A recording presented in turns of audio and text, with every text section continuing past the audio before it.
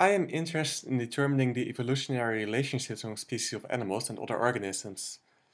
Now we represent those relationships using a data structure called the phylogenetic tree, phylogenetic tree, something that looks like this.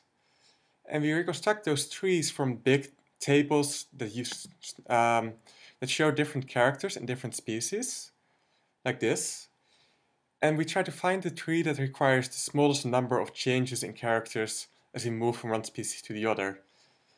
Now to do that we'd need ideally to look at all possible trees, but that is impossible for any realistic dataset because the number of possible trees grows very fast, very, very fast. So we need to use heuristic algorithms that try to find the best possible trees in search space in, in a reasonable time. And that's just been what my project is about. I started by actually implementing exhaustive search on small datasets, just to get a hang of it.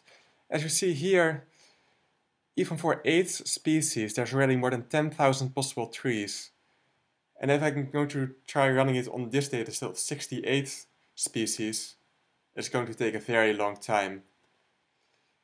And therefore I instead implemented heuristic algorithms. I implemented three, NNI, SPR, and TBR.